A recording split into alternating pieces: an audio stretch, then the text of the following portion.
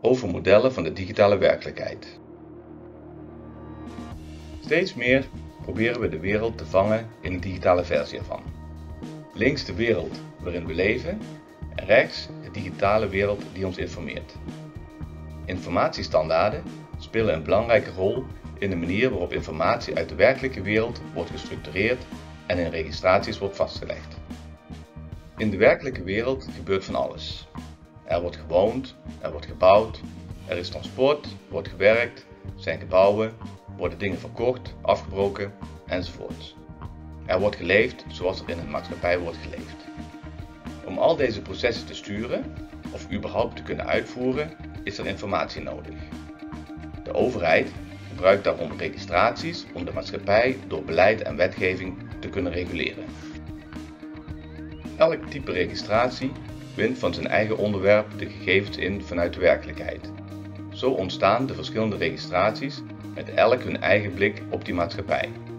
Voorbeelden hiervan zijn een registratie van personen, gebouwen, kadastrale percelen, een kentekenregistratie. Al deze registraties zijn digitaal en bevatten gegevens gekoppeld aan een specifiek onderwerp. Bij de inwinning van de gegevens wordt alleen die informatie opgenomen die voor het doel van de registratie van belang is. Een registratie is immers geen kopie van de werkelijkheid.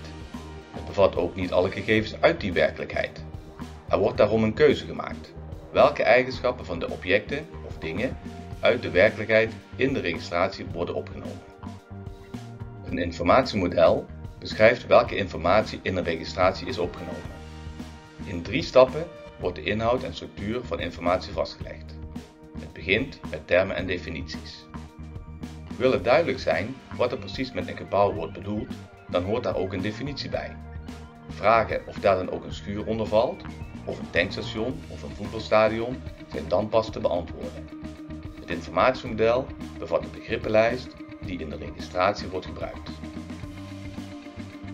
Vervolgens is het nodig om de eigenschappen van een gebouw op te nemen, die voor de registratie van belang zijn. Het doel en gebruik van de registratie bepaalt of van het gebouw het bouwjaar van belang is, of het aantal verdiepingen, het woonoppervlak, of het energielabel, enzovoort. Het informatiemodel legt vast om welke eigenschappen het gaat en koppelt deze aan het object waar het bij hoort, in dit geval het gebouw. Een objectgebouw heeft ook relaties met andere objecten. Het is een onderdeel van een gebouwencomplex, of het heeft een eigenaar, heeft huurders, een hypotheek of het heeft een omgeving. Deze relaties met objecten zijn van belang en worden in het informatiemodel beschreven. De relaties maken dat registraties met elkaar zijn te koppelen. Bijvoorbeeld een persoonregistratie met een gebouwenregistratie. Het informatiemodel vertelt wat met wat is verbonden. Zo zien we dat de werkelijkheid wordt weergegeven door een informatiemodel. Dat informatiemodel is daarmee een digitaal model van de werkelijkheid. Dit zijn allemaal voorbeelden van domeinen waarvan informatiemodellen beschikbaar zijn. Grootschalige geografie, ruimtelijke ordening, kabels en leidingen, natuur, bodem en ondergrond, omgevingswet en er zijn er nog veel meer. Registraties worden geraadpleegd en wisselen gegevens uit. Dit gebeurt digitaal via internet. Via dat internet loopt het berichtenverkeer.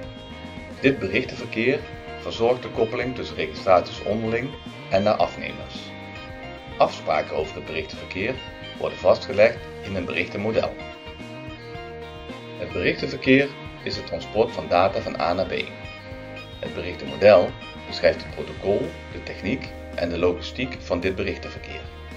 Onderwerpen zoals wie is de aanvrager, wie is de ontvanger, bent u wel geautoriseerd voor deze informatie en een digitale handtekening zijn voorbeelden van gegevens die van belang kunnen zijn. Al deze berichtgegevens zijn nodig om de data van A naar B te versturen. De data zelf zijn geen onderdeel van het berichtenmodel. Het berichtenmodel beschrijft alle stappen die nodig zijn voor het versturen van de data van bronhouder naar afnemer. Eerst een aanvraag, dan de autorisatie, de legitimatie en vervolgens de goedkeuring. Alles wordt digitaal afgehandeld, maar wel volgens afspraken. Als je gegevens opvraagt of wilt inkijken of op een kaart wilt zien, dan moeten die gepresenteerd worden op een toegankelijke en leesbare manier. Het presentatiemodel is het derde model dat nodig is om gegevens bij de gebruiker te brengen. De digitale registraties zijn gegevensbanken. Het zijn daarmee nog geen informatieproducten. Toepassingen zorgen ervoor dat er online informatieproducten beschikbaar zijn. Afhankelijk van de toepassing wordt informatie gemaakt en aan de gebruiker gepresenteerd. Presentatie kan op vele manieren, door geluid, beeld, maar in feite via alle manieren die mensen kunnen waarnemen. Bij geografische data hoort ook een kaartbeeld. In dat geval beschrijft het presentatiemodel de kleuren en symbolen die gebruikt worden op de digitale media. Omdat het digitaal is, wordt ook de interactie zoals inzoomen, mouseclick of mouse over of swipe op het smartphone allemaal beschreven. Het is belangrijk om een presentatiemodel vast te leggen, want dan zien vergelijkbare toepassingen er hetzelfde uit. Mogelijkheden voor gegevensvergelijking worden dan optimaal benut.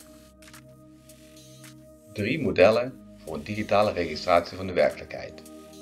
Het informatiemodel voor de inhoud, het berichtenmodel voor regelen van dataverkeer en het presentatiemodel om de gegevens leesbaar en bruikbaar te maken. Laten we het nog een keer naast elkaar zetten. De werkelijkheid is de bron van de informatie. Registraties gebruiken informatiemodellen om aan te geven welke gegevens ze hebben ingewonnen en welke beschikbaar zijn. Het berichtenmodel zorgt ervoor dat de gegevens met elkaar gedeeld kunnen worden. En toepassingen gebruiken het presentatiemodel om gegevens of een kaartbeeld aan de gebruiker te tonen. Informatiemodel, berichtenmodel en presentatiemodel. Drie modellen die zorgen voor een beschrijving van de weg van werkelijkheid naar digitaal beeld. De drie modellen worden ook toegepast voor de registratie van officiële publicaties. Deze registratie bevat de besluiten voor wetten en regelgeving. De standaard officiële publicaties, STOP, wordt hierbij gebruikt om informatie, berichten en presentatie te beschrijven. STOP is de overkoepelende afspraak voor alle officiële publicaties. Publicaties binnen de omgevingswet zijn maar een onderdeel hiervan. Hiervoor geldt het STOP toepassingsprofiel omgevingsdocumenten, TPOT. Laten we meer in detail kijken naar de omgevingswet. STOP TPOT zijn specificaties voor zowel opstellen, uitwisselen en publicatie van omgevingsdocumenten. De overheidslagen zijn verantwoordelijk voor verschillende typen omgevingsdocumenten. Hier zien we een aantal voorbeelden. De STOP TPOT standaard is toegepast in software en biedt daarmee aan het bevoegd gezag het raamwerk en bouwstenen voor het opstellen van digitale omgevingsdocumenten. Een vastgesteld omgevingsdocument wordt opgenomen in de registratie omgevingsdocumenten, de ROD, en is daarna raadpleegbaar via het omgevingsloket.